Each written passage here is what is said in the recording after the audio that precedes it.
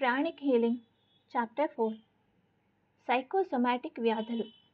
ద్వేషం కోపం అసూయ వంటి లక్షణాలు శరీర ఆరోగ్యాన్ని నాశనం చేస్తాయి. ఈ విధమైన నెగటివ్ లక్షణాలు భావోద్వేగాల కారణంగా శరీరంలో ఎంతో ప్రాణశక్తి నష్టం జరుగుతుంది.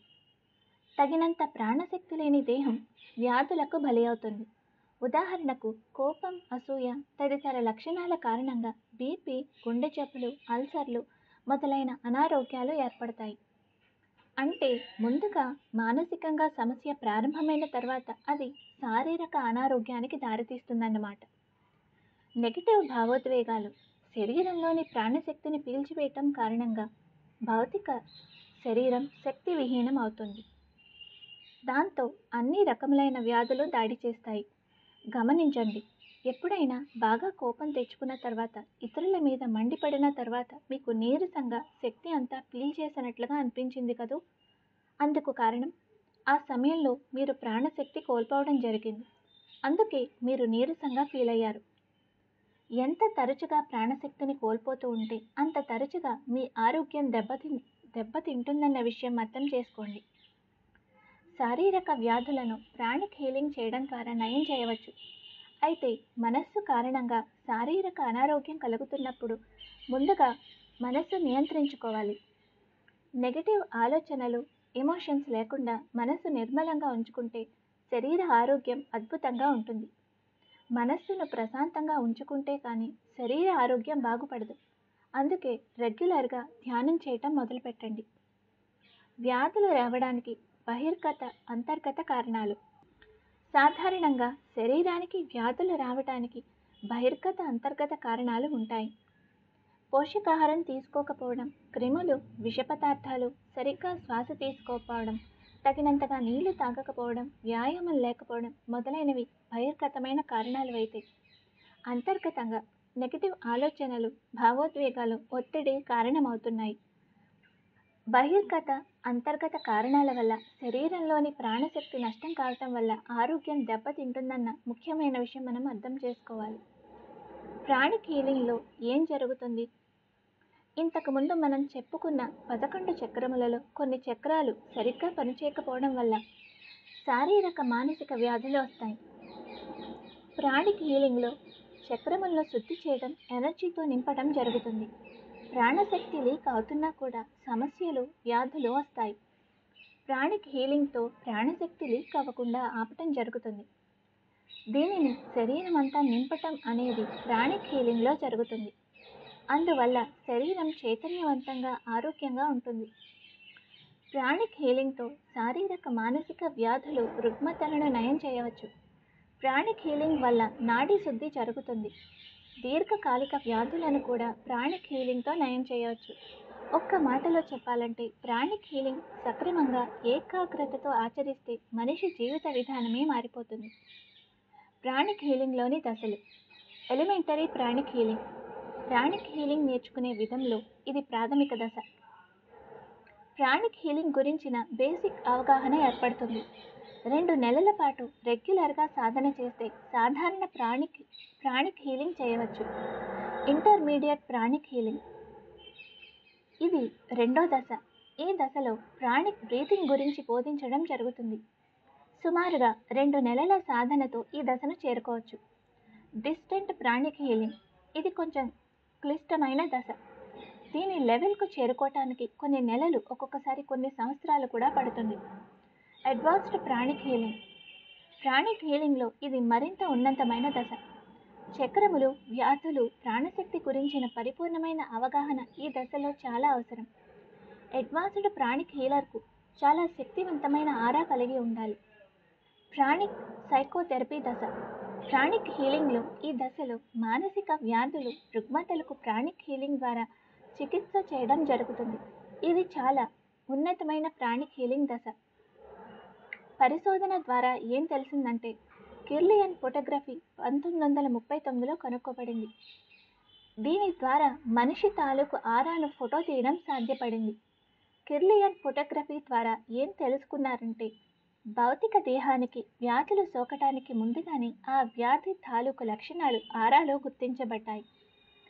ఆలోచనలు భావోద్వేగాలు ఆరోగ్యం మీద ప్రభావం చూపుతాయి. ప్రాణశక్తిని హీలింగ్ చేసే హీలర్కి రోగికి బదిలీ చేయడం ద్వారా వ్యాధులు తగ్గించవచ్చు. నెగటివ్ ఎమోషన్స్ ఆలోచనలు వ్యాధులు తీసుకువస్తాయి. చాప్టర్ ఫైవ్ ప్రాణిక్ హీలింగ్లో మొదటి దశ. ప్రాణిక్ హీలింగ్లో రెండు ముఖ్యమైన విషయాలు ఉన్నాయి అవి ఏమిటంటే అనారోగ్యం పాలైన శరీర అవయవాలు లేక చక్రములలోని ప్రాణశక్తిని క్లీన్ లేదా శుద్ధి చేయడం ఇంకా సంబంధిత అవయవములు లేక చక్రములకు ప్రాణశక్తిని సరఫరా చేసి ప్రాణశక్తితో నింపడం. అనే ముఖ్యమైన పనులు లేదా విధులను మన శరీరం నిర్విరామంగా చేస్తూనే ఉంటుంది. ఆక్సిజన్ను తీసుకుని కార్బన్ డైఆక్సైడ్ను వదలడం ఆహారం తీసుకుని ఆ తర్వాత మలిన పదార్థాలను విసర్జించడం అనే రెండు చర్యలు క్లీనింగ్ మరియు ప్రాణశక్తితో నింపడానికి సంబంధించిన ముఖ్యమైన చర్యలే. ఈ చర్యలు సక్రమంగా నడుస్తున్నంత వరకు మనం ఆరోగ్యంగా ఉత్సాహంగా ఉంటాం. ఏ మాత్రం తేడా వచ్చినా అనారోగ్యం పాలవుతాం. ప్రాణిక్ హీలింగ్లో ముఖ్యమైన విషయం ఏమిటంటే ఆరాను క్లీన్ చేయకుండా ప్రాణశక్తిని బదిలీ చేయకూడదు. ఒకవేళ ఆరాను క్లీన్ చేయకుండా ప్రాణశక్తిని బదిలీ చేస్తే ఫలితం తాత్కాలికంగా ఉండి అనారోగ్యం మళ్ళీ తిరగబెడుతుంది. అందుకే అనారోగ్యం పాలైన శరీర అవయవాన్ని చక్రాన్ని శుద్ధి చేసిన తర్వాతే ప్రాణశక్తిని బదిలీ చేస్తే సంబంధిత అనారోగ్యం పూర్తి పూర్తిగా తగ్గుతుంది. అనారోగ్యం రుగ్మత ఉన్న శరీర అవయవాలు చక్రములు క్లీన్ చేయకుండా ప్రాణి కీలింగ్ చేయటం అంటే విరిగిపోయిన పాలలో తాజా పాలు పోసి మజ్జిగ చిలకడం లాంటి మూర్ఖమైన పని. అందుకే ప్రాబ్లం ఉన్న భాగాన్ని ముందుగా క్లీన్ చేసిన తర్వాతే ప్రాణి కీలింగ్ చేయాలి. ముందు సంబంధిత అవయవాలు చక్రాలు శుద్ధి చేసిన తర్వాతే ప్రాణి కీలింగ్ చేయాలి. ఎందుకంటే తక్కువ ప్రాణశక్తి మాత్రమే ఖర్చు అవుతుంది వ్యాధులు రుగ్మతలు మళ్ళీ తిరగపెట్టకుండా పూర్తిగా నయమవుతాయి. ప్రాణశక్తి యొక్క బదిలీ సరిగ్గా జరిగి ఫలితాలు అద్భుతంగా ఉంటాయి.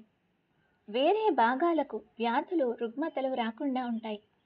అందుకు ముందు క్లీన్ చేసిన తర్వాతే ప్రాణిక్ హీలింగ్ చేయడం అనేది అత్యంత ముఖ్యమైన విషయం. ప్రాణిక్ హీలింగ్లో ప్రాణశక్తి ఎక్కువగా బదిలీ జరుగుతుంది. అరచేతి మధ్య భాగంలో ముఖ్యమైన చక్రం ఉంటుంది. అరచేతుల్లో రెండు చక్రాలు ఉంటాయి. ఒకటి కుడి చేతి అరచేయ చక్రం రెండు ఎడమ చేతి అరచేయ చక్రం. సాధారణంగా అరచేతుల్లో ఉండే చక్రములు ఒక అంగుళం చుట్టుకొలతలో ఉంటాయి. అయితే అసాధారణ ప్రాణశక్తి కల ప్రాణిక్ హీలర్ చేతుల్లోనే చక్రములు రెండు అంగుళాలు అంతకంటే ఎక్కువ చుట్టుకొలత కలిగి ఉంటాయి. అరచేతుల్లో ఉండే చక్రములు రెండు ప్రధాన చక్రముల కంటే చిన్నవి అయినప్పటికీ వాటి వాటికి చాలా ప్రాముఖ్యత ప్రాధాన్యత కూడా ఉంది. ప్రాణిక్ హీలింగ్లో అరచేతుల్లో ఉండే చక్రముల ద్వారానే ప్రాణశక్తి గ్రహించబడి ఆ తర్వాత అదే ప్రాణశక్తి రోగికి బదిలీ కావడం జరుగుతుంది. కుడి చేతి అరచేయి చక్రం ఎడమ చేతి అరచేయి చక్రం రెండూ కూడా ప్రాణశక్తిని గ్రహించి ఆ తర్వాత బదిలీ చేసే శక్తిని కలిగి ఉంటాయి. కుడి చేతి వాటం ఉన్న వ్యక్తులు ఎడమ చేతి నుంచి ప్రాణశక్తిని గ్రహించి కుడి చేతి చక్రం ద్వారా ఆ ప్రాణశక్తిని బదిలీ చేయటం ఉత్తమం. అదేవిధంగా ఎడమ చేతి వాటం ఉన్న వ్యక్తులు కుడి చేతి నుంచి ప్రాణశక్తిని గ్రహించి ఆ తర్వాత ఎడమ చేతి చక్రం ద్వారా ప్రాణశక్తిని బదిలీ చేయటం మంచిది. అరచేతి వేళ్ళలో కూడా చిన్న చిన్న చక్రములు ఉంటాయి. ఆ చక్రముల ద్వారా కూడా ప్రాణశక్తిని గ్రహించడం బదిలీ చేయడం జరుగుతుంది. అరచేతుల్లో చేతి వేళ్ళలో ఉండే చక్రములు జాగృతం కావడం వల్ల ఆరాను స్కానింగ్ చేసే శక్తి సామర్థ్యం లభిస్తుంది. స్కానింగ్ చేసే శక్తి ఎంత తీక్షణంగా ఉంటే అంత సమర్థంగా ప్రాణిక్ హీలింగ్ చేసే హీలర్ ప్రాణశక్తి ఆరాలో ఎక్కడ లీక్ ఉంటుందో ప్రాణశక్తి ఎక్కడ పేరుకుపోయి ఉంది సమర్థవంతంగా గుర్తించగలిగి ప్రాణిక్ హీలింగ్ చేయగలుగుతాడు. ప్రాణిక్ హీలింగ్లోని ఏడు ప్రధానమైన టెక్నిక్లు. ప్రాణిక్ హీలింగ్లో ఏడు రకములైన టెక్నిక్లు ఉంటాయి. ఆ టెక్నిక్స్ ద్వారా ప్రాణిక్ హీలింగ్ చేస్తే అద్భుతమైన ఫలితాలు వస్తాయి. ఇప్పుడు ఆ టెక్నిక్లు ఏమిటో తెలుసుకుందాం. మొదటిది చేతుల యొక్క సెన్సిటివిటీని పెంచుకోవడం రెండు ఆరాను స్కాన్ చేయడం. మూడు క్లీనింగ్ లేదా శుద్ధి చేయడం నాలుగు ప్రాణశక్తిని గ్రహించి శక్తి రోగిలో పెంచడం. ప్రాణశక్తిని గ్రహించడం బదిలీ చేయడం. ప్రాణశక్తిని నిలకడగా ఉంచడం. నిలకడగా ఉన్న ప్రాణశక్తిని రిలీజ్ చేయడం. పైన చెప్పిన టెక్నిక్స్ అన్నీ కూడా ఆచరణకు సాధ్యమైనవి. ఏకాగ్రమైన దీక్షతో సాధన చేస్తే ఈ టెక్నిక్స్ ద్వారా ప్రాణిక్ హీలింగ్ చేయడం సులభంగా అర్థమవుతుంది. అయితే అందుకు కావాల్సిందల్లా పట్టుదల సాధన మాత్రమే.